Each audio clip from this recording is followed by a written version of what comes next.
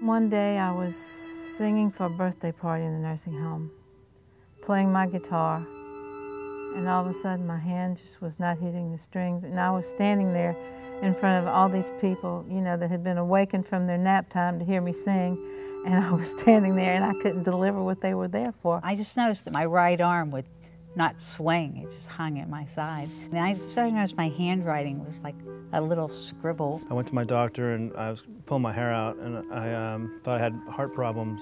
He decided to go see a psychologist because it was it seemed like he was having a lot of anxiety. First five minutes we talked, he said, you need to see a, a, a neurologist.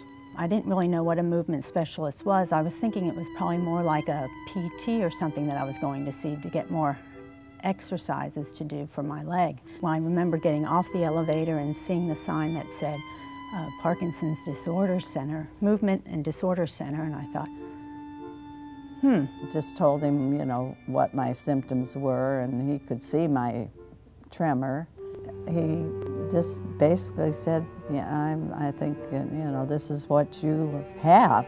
Simple as that. They checked my balance, they pushed me, pushed me, pushed me back, had me walk, and apparently my arm wasn't swinging, so that was another classic sign that I had Parkinson's. We were just sitting at the kitchen, around the kitchen table, and said, I've got Parkinson's, and it was just kind of like, what does that mean? You know, you're just blindsided. It's not what you expect your husband to come home after a day of work in your 40s that, oh, I've got this disease. I was most worried about the future, the long term, what's going to happen to Debbie and even our relationship. How bad will it be? Just scared of the future, scared of what does this mean? Is, you know, are you going to, can you take her to school in the morning or can you pick her up? Or, you know, are you going to be here to help with college or, you know, what's, what's going to happen? I mean, just take it, taking the medicine, or the honeymoon phase, or whatever they call it, was so great. I remember being so excited because I could fix my hair and button buttons and get dressed, and it was great.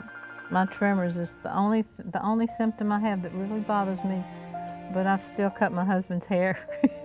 it looks pretty good. Maybe part of it is getting older too, but without the Parkinson's, I would not have I would not have stopped to smell the roses near as much. We raised uh, $15,000 the first year, and I said I can do better than that this year, and I raised 30,000 last year. If I sit there and feel sorry for myself, I'll just be 10 times more miserable than I am.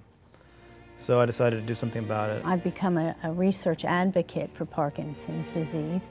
I'm not just sitting around with this disease and waiting for what's going to come next, that um, I can be proactive and help myself and help others to uh, find, uh, find a cure for this. My name is Dottie Visosky. My name is Kathy Smith. My name is Marilyn Meese. My name is Debbie Hurlbert. My name is Jim Hurlbert. My name is Doug Benzuli. My name is Cindy Sather. I'm the face of Parkinson's.